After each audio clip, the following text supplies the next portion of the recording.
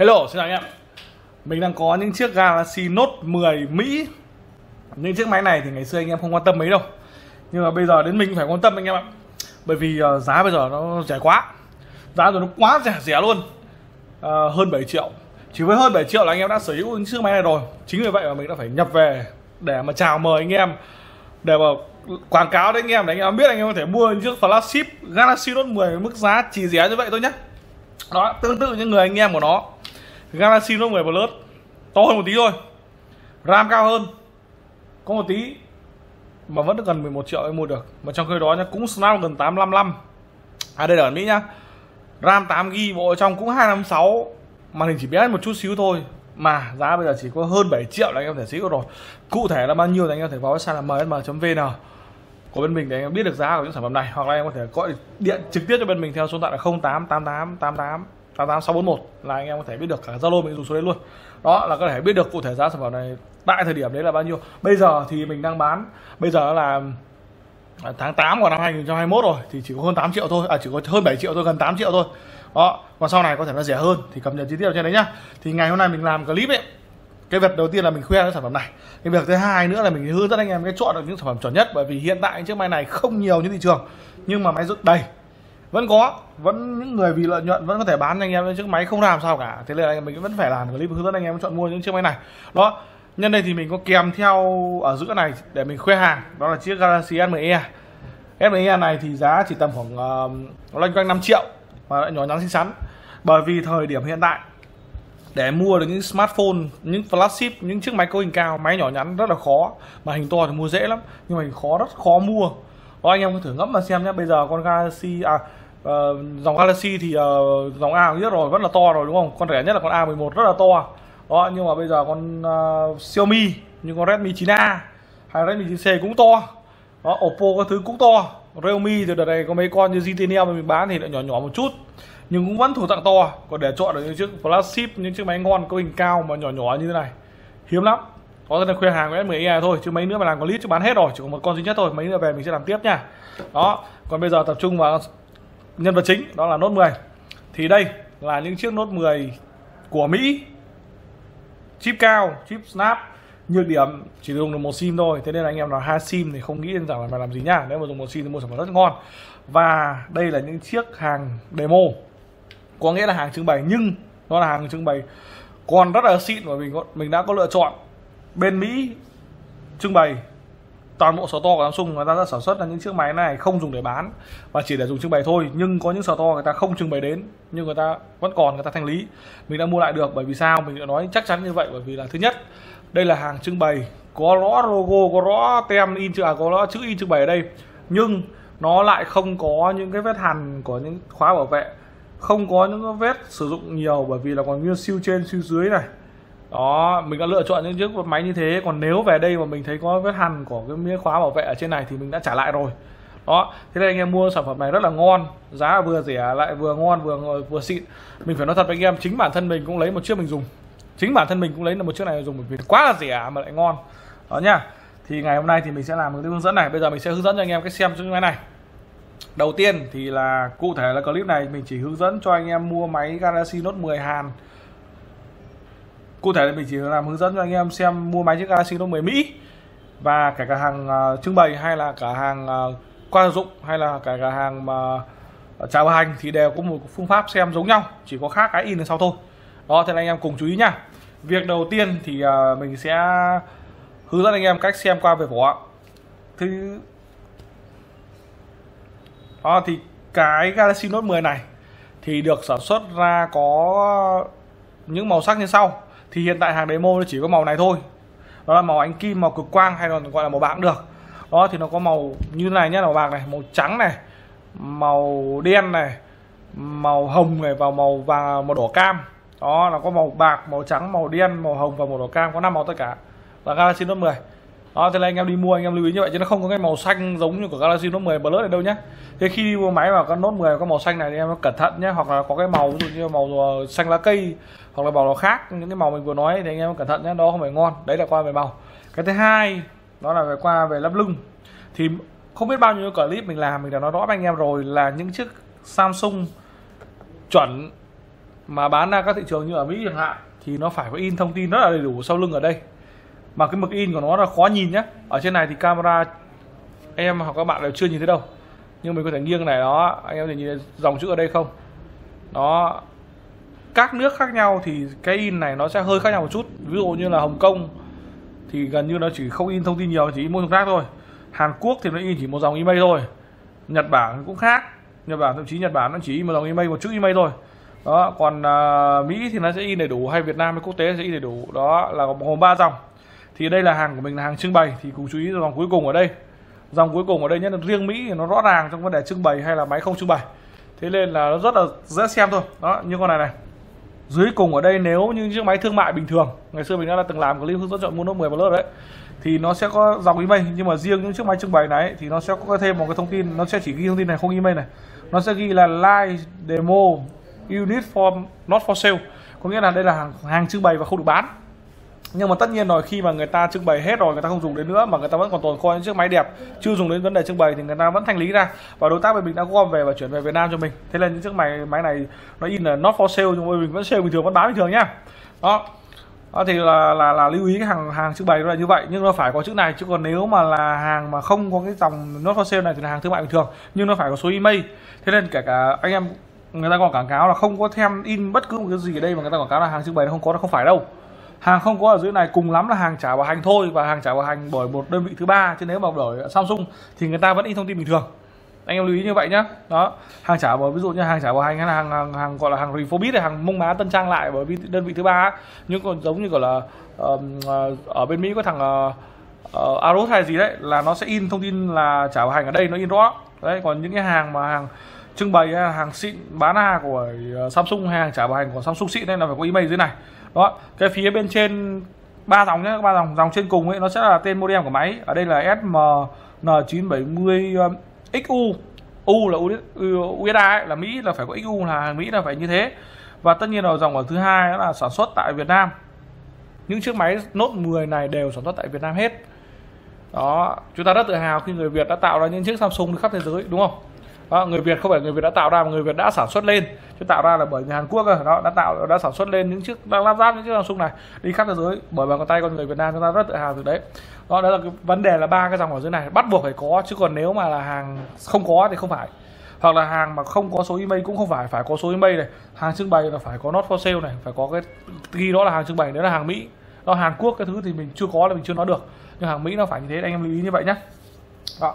thì tiếp nữa là chúng ta cùng chú ý là chúng ta mình đã làm cái clip hướng dẫn chọn mua nốt 10 Plus Mỹ rồi đấy. Thì bắt đầu từ nốt 10 trở lên là Samsung người ta sẽ không nghe theo Mỹ là người ta in tên máy ở đây nữa. Như S10 vẫn có S10 Plus vẫn có hay S10e này cũng có là ghi là Galaxy S10e chẳng hạn. Còn Samsung Galaxy Note 10 là sẽ không có không có in ở đây. Đó không có chữ Note 10 nữa mà chỉ duy nhất là logo Samsung thôi. Và cái điều đặc biệt logo của Samsung này đó, em nhìn thấy không? Nó sẽ không rất là quá là bóng bẩy và nó chỉ đủ nhìn và phông chữ rất là đẹp rất chuẩn nhá chứ nó không bóng bẩy hay là không nổi bật lên nhiều. Đó nhìn gần như chìm chìm ví dụ như là màu xanh này chẳng hạn. Đó nhìn chỉ đủ là chúng ta hình dung là logo của Samsung thôi. Đó, chứ còn nếu mà in bên trong là in chìm ở bên dưới nhé chứ không in bên trên mặt. Nếu mà anh em đi mua mà cái logo Samsung in trên mặt màu màu bạc hoặc là cái màu sáng rất là sáng màu rất là bạc rất là đẹp thì nó không phải Samsung xịn đâu mà đây là lớp bên ngoài rồi. Đấy, hoặc là cái chữ dòng thông tin ở đây này nó in rất là đậm in rất là rõ. Đó, này mờ mờ chúng ta nghiêng lên chúng ta mới nhìn thấy nhé cả cả màu xanh cũng vậy này hay là cả cả màu khác của Samsung vậy. Đó thì chúng ta nghiêng lên chúng ta mới nhìn thấy nhưng nếu là rất là rõ nhá rất là rõ này mà nổi lên lại thậm chí có thêm mấy cái thùng rác hay tiêu chuẩn về điện năng các thứ nữa thì chắc chắn đấy là fake. Đó là hàng fake luôn. Hàng fake là hay in như vậy lắm hay in rõ như vậy lắm. Thế là anh em có xem quảng cáo ở trên Facebook hay quảng cáo ở trên Shopee à về, về, và trên trên trên YouTube mà nó nổi lên là hàng Samsung chính hãng rồi của Đài Loan hay là của Singapore mà giá rất là rẻ đấy mà nó cái chỗ này rất là rõ ấy, thì đấy là hàng fake chứ không phải hàng Samsung xịn đó một ý như vậy. Đó để chúng ta xem chúng ta nhận biết được. Đó mình lại là có chữ Samsung này không có chữ uh, Note 10 này. Và bên dưới này là dãy số là có tên máy sản xuất tại Việt Nam và có email đối với máy thương mại bình thường và có chữ uh, demo đối với máy demo nhé. Như ở mình đây là toàn demo thôi. Đó là xem như thế là đã chuẩn rồi. Nhưng mà cái quan trọng tiếp theo nữa là chúng ta sẽ cùng xem cái phần camera ở đây đó, về hình thức là chúng ta xem chúng ta có thể nhận biết được luôn đấy là có dựng hay không ấy. Thì camera ở đây chúng ta có thể nhìn rất là đẹp này. Thứ nhất là nó việc rất là đẹp đã. Thứ ba hai nữa là cái cụm ba camera ở đây nó sẽ khác nhau hoàn toàn. Lưu ý là nốt 10 chỉ có ba camera thôi nốt 10 và lớn nó sẽ bốn có một camera đây nữa này. Đó nhưng nốt 10 thường thì chỉ có ba thôi. Đó và quan trọng nhất nữa là ba cái camera nó khác nhau. Thứ hai nữa là nó không có bụi bên trong. Thế nên khi xem chúng ta nhìn kỹ nó có bụi hay là có dấu vân tay hay là bẩn bẩn bên trong ấy thì những chiếc máy đó chắc chắn nó bị bung rồi. Hoặc là dùng quá lâu rồi, nó bị bụi rồi, nó không còn nguyên áp suất nữa. Thì nó bị bụi ở trong những chiếc máy này đều đều có áp suất, đều chống nước. Thì nó phải đẹp, không có bụi, không có vân tay, không có gì cả bên trong. Đó, lưu ý như vậy. Đó, cái viền này nó phải đẹp và đồng màu với cái viền của máy nhé cái viền của camera này. Đó, nó phải đẹp và đồng màu viền của máy này. Chứ mà cái viền này màu đen mà cái viền của máy lại màu khác này không phải đâu. Đó, tiếp nữa là cái phần đèn flash ở đây. Ở đây nó chỉ có cái đèn flash đây thôi. Thì cái đèn flash này nó là một cụm liền với lưng luôn. Nó là lớp kính liền với lưng luôn đó cho nên nó không lốp rồi đâu nhá. Nó không như iphone iphone nó là lốp rồi nhưng mà cái này liền luôn nhá. Đó, liền luôn với cả lưng. Đó cái rất là quan trọng là phải chuẩn như vậy. Thì anh em đi mua mới không bị lừa được chứ anh em đi mua dễ dễ bị lừa. Đó, cùng xem lại tất cả các thứ ok rồi chúng ta sẽ cùng xem lại cái viền này có khít hay không. Cái viền của của lưng này và cái viền của khung máy nó có khít hay không. Đó chứ nếu mà nó không khít nó hở ra thì thôi đừng lấy nữa bởi vì những con đấy không có áp suất đâu không còn zin đâu đó, nhìn cái cái mép này nhá chúng ta sẽ bấm mạnh này xem nó có bị lún xuống hay không này.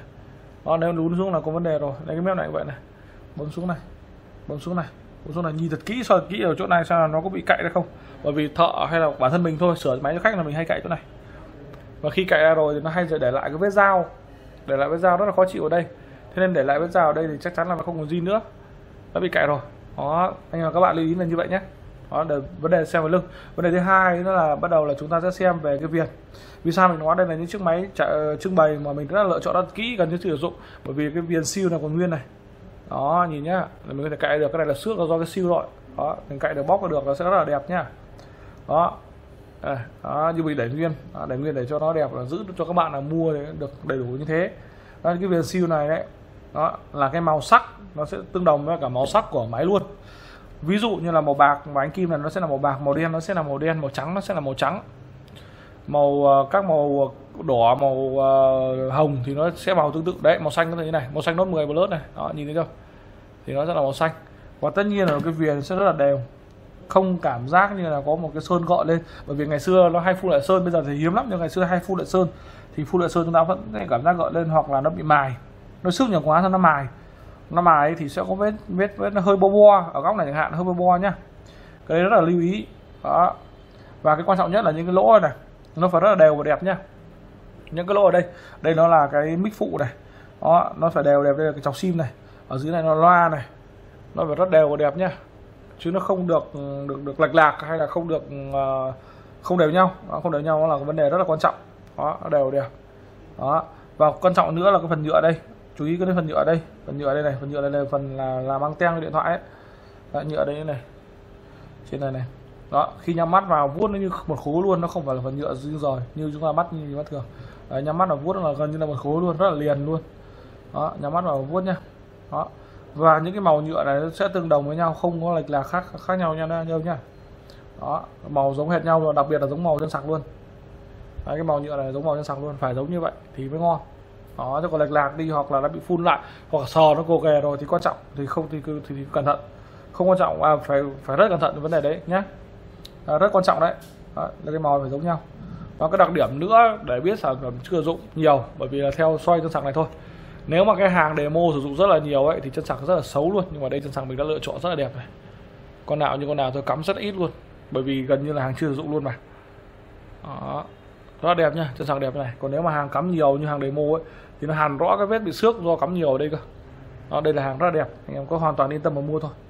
Đó, cái viền như thế. Đó tiếp nữa cái viền còn chú trọng đến cái viền nữa là ở phần cái bút ở đây. Đây này, mình sẽ rút cái bút ra. Nó màu như màu cái bút chưa? Cái này thì chúng ta có thể chuyển màu được, nhưng mà mặc định nó sẽ là màu xanh như cho cái bút. Màu trắng nó sẽ là màu xám như này. Đó, nhìn nha Đấy, màu bà đen nó là màu màu, màu xám. Đó nhưng màu xanh nó phải màu xanh. Rút cái bút là cái bút của con màu bạc nó sẽ là màu xanh. Màu trắng nó sẽ là màu trắng màu đen nó sẽ là màu đen. Đó, riêng màu bạc nó là màu xanh như này. Đó, khi rút cái bút ra cái bút xịn này, nhìn cái màu đều nhá. Đó, chỉ có mỗi nút là màu hơi khác đi thôi. Đó, dãy số in ở đây này rất là đầy đủ này, đó, có chữ China ở đây. Cái bút này đa phần sản xuất ở Trung Quốc. Cũng có bút sản xuất ở Việt Nam nhưng rất là hiếm. Hàng Mỹ đa phần xuất bút sản xuất ở Trung Quốc. Nó có sẽ có serial bơ ở đấy nữa đấy nhá. Và cái bút của Note 10 nó không có chữ Samsung nữa nhé cái bút của Note 10 nó sẽ không có chữ Samsung đâu. Bút Note 10 và Note 10 Plus thì giống hệt nhau. Đây thôi. Đó. Nhưng mà cái đầu của nó thì theo cái đầu của cái viền đây này. Cái đầu theo đầu của viền luôn nhá. Bút Note 10 Note 10 Plus y nhau. Đó. Đây con Samsung của mình là hàng chính hãng. Thì cái bút cũng là Trung Quốc luôn nha Trung Quốc là China luôn. Và có số CB ở đây. Cái đầu này cùng đầu viền nhá. Chứ khác không phải khác đâu. Đó nút cái bút ra thì nhân tiện là nhìn vào cái khe này. Nhìn vào khe này xem có bị à, bị, bị, bị, bị, bị sơn bị ấy lên không? Bởi vì hay phun sơn lại nên là các vị hãy để lại barrier barrier ở đây nhưng nó đẹp như này không phải nhá là xịn nhá. Đó rút cái bút ra cùng xem như vậy. Nhìn thì kỹ vào. Đó ngon lành là được. Tiếp nữa thì cũng nên nhấc cái sim ra. Nên nhấc cái sim này để xem. Nên nhấc cái sim ra để xem. Đó tháo cái sim ra nhá. Đấy bởi vì quan trọng lắm giòn còn nhá. Đó khai sim của đốt 10 như này, này con này chỉ dùng sử dụng được một sim thôi và không lắp được thẻ nhớ thì nó dài như này này. Đó con này không dùng thẻ nhớ con nốt 10 này thì dùng được thẻ nhớ con này không dùng được nhé đó còn nguyên răng này. Còn nguyên răng cao su nhá. Cái này chỉ là phụ thôi nhưng cái quan trọng nhất ở đây. Đó. nhìn về phía màn hình này. Đây màn hình nhá nhìn về phía màn hình này phía dưới này. Nó có một cái tem màu trắng một dấu cộng màu tím ấy. Cái đấy mà là màu đỏ hoặc không có thì bỏ đi đừng lấy nữa. Vì màu đỏ là bị nước vào và không có thì là máy dựng nó phải có một cái tem quỳ màu trắng ở dưới này nhé cái này khó nhìn ở trên này khó nhìn lắm. Nhưng nó có đấy. Đây. Này. bật cái máy khác xoay đèn vào đây. Đó, đó các bạn này nhìn đâu. Một vuông vuông kìa. Đó có dấu cộng màu tím này này. Đó nó phải có cái đấy thì mới là chuẩn bởi vì đây là cái quỳ tím. Nước vào sẽ thành màu hồng mà không có là do máy dựng. Nha đây, khi tháo ra sim xong rồi là được cái viền chúng ta xem thành công còn bây giờ tiếp nữa chúng ta xem đây là màn hình. Đó, quan trọng lắm. Màn hình của những chiếc máy Samsung xịn này, nó đều là màn hình cao cấp của Samsung, màn hình led của Samsung. Thế nên nó đen. Nó đen một cách tuyệt đối luôn, chứ nó không phải bóng bóng như những cái màn hình rẻ tiền. Màn hình có lại màn hình rẻ tiền nhé là nó sẽ có bóng bóng màu khác. Đó trong màn hình của Samsung xịn nhé nó đen như này cơ mà. Đây mình ở đây mình có con nốt FE này. Đó, từ nốt FE đi, màn hình nó đen như vậy rồi, nhưng mà nghiêng đi một tí chúng ta có thể nhìn thấy viền ở đây nhưng riêng những chiếc đời cao cấp này này là chọn đen một cách tuyệt đối luôn. Khi nào nó sáng ở đâu thì nó sáng đấy thôi. Thậm chí là khi tắt đi là chúng ta không phân biệt đâu là viền đâu là màn hình đâu là viền đâu là tấm màn hình đúng không? Khi bật lên chúng ta mới biết là à đây là viền đây là màn hình. Đó màn hình rất là đen nhá chứ còn màn hình màu sáng sáng đây là màn hình trả tiền hoặc là mà hàng fake. Đó nó có chỉ có một cái camera trên này thôi không có một cái gì khác cả. À, camera đây. Đó các viền nó đều nhau như này, này. Đó và cái viền rất là mỏng nó viền xuống cả phần cong luôn. Hàng fake thì hàng viền nó lại dày như đây nó dày đây và tấm màn hình chỉ phẳng thôi như hàng xịn phải như này. Viền là phần cong luôn và viền rất đều. Hai cái viền hai bên rất là đều. Thậm chí bên trên bên dưới hơi dày một tí thôi. Đó. Nha cùng lưu ý như vậy. Đó là màn hình như này. Thì khi xem màn hình ấy chúng ta nhìn thật kỹ ở những cái mép này. Xem nó có bị rơi hay không. Đó nó bị rơi hay không hàng zin nó phải khít nhá. Đây. Đấy, vuốt tay này nhắm mắt rồi vuốt xong có liền hay không này xem có bị cộm cộm tay hay không này. Đó nhìn nhá rất là khít nhá. Và các hai mép này thì vuốt nhá đó, bên dưới này thì nó hơi khít nha. Đó, vuốt là không được cộm này đâu. Cộm này là chết dở đấy. Đó nhìn khít này. Dùng tay bấm bấm xuống này. Bấm bấm xuống này. Đó khít là ngon. Đó rất là xịn nhá. Nó mới là chuẩn. Đó đó là xem bên ngoài. Màn hình chúng ta chỉ xem đơn giản vậy thôi. Camera xem có bụi không? Không có là xong. Đó bây giờ chúng ta cùng bật lên. Đó thì đây là những sản phẩm của Mỹ. Mình đã chạy ROM quốc tế hết rồi. Nó không có bất cứ một cái ứng dụng của nhà mạng nào hết và tất nhiên là nó sẽ không in logo nào nhà mạng ở đây. Từ ờ, Galaxy S8 trở lên là nó không in rồi. S7 ngày xưa thì ờ, S7 như là vẫn in ấy, nhưng mà S8 thì nó không rồi. À đây trước của Mỹ mình đã chạy quốc tế hoàn toàn luôn. Đó, anh em có thể nhìn thấy không? Nó không có bất cứ một cái ứng dụng nào của nhà mạng ở đây. Rất là ngon luôn. Đó, điều đặc biệt là như vậy. Mình đã chạy ra quốc tế hết rồi.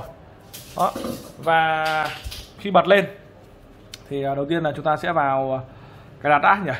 Chúng ta sẽ vào cài đặt nhá đó chúng ta xem thử xem là tên máy và tên sau lưng giống nhau hay không. N970 U1 này. Đấy chạy sang quốc tế nó sẽ U1 nó vẫn là N970 nhá đứng sau này này. N970 XU nhá đứng đây là quốc tế là U1 rồi. Đó số email này số email thì sau nó không in bởi vì đây là hàng trưng bày nó không có in.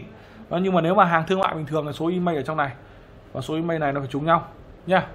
Hàng thương mại bình thường như vậy còn hàng như hàng của mình là in chữ uh, live demo unit not for sale ấy thì nó sẽ không có email ở đây. Đó, chúng ta chỉ cần xem qua mình hướng dẫn anh em xem hàng thương mại thôi nó có email đây là có in xong là in để đủ nhá. Đó và bây giờ là quan trọng nhất là chúng ta sẽ vào bước test ở đây. Nha chúng ta sẽ ấn sao thăng này không sao thăng. Kiểm tra luôn cái sensor xuống áp suất có hay không. Đó, đó nhìn nhá 1003 này chúng ta sẽ ấn tay vào màn hình nhớ là khai sinh khít nha đấy anh em nhìn thấy không? Anh em này nhìn đâu? Đó ba nhá nhảy lên năm này. Đó nhảy lên bốn xuống này. Nhảy lên này đó đấy là còn áp suất mà còn áp suất là còn zin chắc chắn luôn còn không còn áp suất thì không còn zin con nào thử cũng thế thôi bên nhà mình thì đã lựa chọn hết rồi. Đó những cái đời cao như vậy như này. Đó đây 32 nha Phải ấn này. Đó con này nhảy rất khỏe luôn nhảy lên 7 luôn này. Nhảy càng cao thì áp suất nó còn càng nhiều bởi vì dùng lâu thì nó sẽ kém đi mà. Đó, dùng lâu nó sẽ kém đi nhưng mà nhảy cao như vậy là còn nhiều. Đó, cứ yên tâm mà sử dụng thôi là còn áp suất đó cứ chỉ cần mà thử mỗi áp suất thôi. Còn những cái thử như màn hình ở đây thì anh em tự làm cái này mình không phải chỉ nữa đây xem có điểm chết hay không ấy mà. Nó không điểm chết gì là ngon. Đấy màu trắng này. Đó đây điện để thử loa luôn. Đó nhưng mình chỉ quan trọng là mình thử xong áp suất hay không. Còn áp suất là còn zin bởi vì bây giờ giá lại áp suất hơi khó. Đó, nó thật là như vậy. Thợ cao tay thì phải làm giá thôi nhưng còn áp suất là được. Không áp suất bỏ luôn không zin nữa. Đó còn bây giờ là xem lại lần nữa xem con này có mỹ chuẩn hay không ấy thì là vào trong này này. Bởi vì hàng mỹ hàng nhật đều dùng snap 855 thế nên nhiều khi mua nó rất dễ nhầm với hai hàng với nhau. Đó thì hàng nhật thì nó không thể nào cài, gần như không thể cài ROM của quốc tế được như thế này. Chỉ có hàng mỹ chúng ta mới có thể cài được như này thôi. Đó hàng nhật thì nó sẽ không in samsung ở đây mà nó sẽ in là galaxy. Và mỗi khác thế thôi. Họ lắp lưng là phải là samsung và có thông tin đấy mới là hàng mỹ, còn hàng nhật thì không. Bởi vì à quên mất, vừa giờ mình vào trong người đặt mình xem ấy, thì là hàng nhật thì nó sẽ không có chữ u như này đâu. Không phải U1 thế này, mà nó có thể là tên khác. Đó, là sợi với thôi. Nhưng mà chúng ta có thể cài CUZ chúng ta xem chuẩn hay không thì nó hàng Mỹ hàng Nhật, hàng Hồng Kông thì nó sẽ sử dụng Snapdragon 85 đó slab từ gần 85 nhé còn Exynos đấy Exynos thì thường thường là hàng Việt Nam và hàng các nước khác. Đó, Hàn Quốc Việt Nam và các nước khác. Chỉ trừ Mỹ Nhật và Hồng Kông thôi thì nó dùng Snap. 85 và Snap 85 là những hiệu năng nó cao hơn là chip Exynos rồi đúng không? Chip đồ họa là Exynos 640 này. Đó cùng xem qua cấu hình. Bọn Trung Quốc bây giờ làm máy fake thì nó fake được những ngày thôi. Nhưng mà nhưng mà mà chúng ta cũng phải nên xem đúng không? Chứ bây giờ nó fake được cả bộ trong 52 g cơ mà chứ nó không phải không fake được đâu đó vào device chúng ta có thể nhìn thấy là RAM của nó là 8 g nhưng mà ở đây nó chỉ là ghi là 7468 thôi chứ không thấy 8 g tròn. 8 g tròn là có thể là làm fake ấy. đây ở đây là 256 g thì không đủ 256 g chỉ ghi là 228 thôi. Đấy mới là chuẩn nhá. Đó đó ở đây ghi một, ờ, một, một tên mã thế là N970U1 này bởi vì mình đang chạy ROM U1 ROM quốc tế màn hình của nó 6,27 inch. Đó màn hình là đây hiện tại độ phân giải đang chỉnh mặc định ở Full HD chứ màn hình nó sẽ cao hơn. Đó có thể chỉnh được cái sao ấy mình không nhớ là con này có 4K 2K hay không nhưng con này là sẽ có 2K có thể chỉnh lên được này. Nhưng mà phần mềm này chỉ hiện Full D thôi. Đó cái này thì uh, nó sẽ thông báo một số thứ khác ở đây. Đó đây là cái phần mềm này thì xem CPU thôi.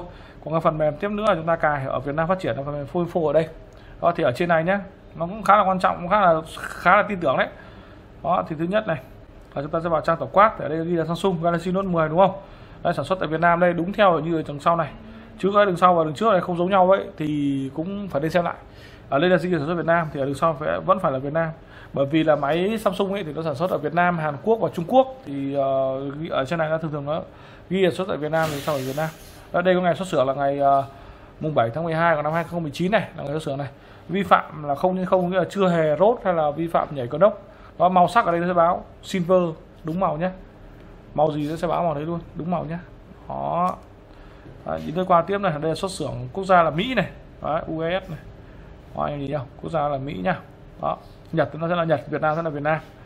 Đây phi ở đây. Đấy, hiện tại đang chạy Android 9 à, ờ, có thể cập nhật đến được. Đó RAM là 7,29 này. Đó 8 GB đấy nó không bao giờ ghi 8 GB tròn đâu. Đây camera sau và trước. Ở đây camera thì nó là mực trước là máy ảnh của Sony đây. Và hàng Mỹ là Sony nhá. Hàng uh, Hàn Quốc nó sẽ là SL SI như này.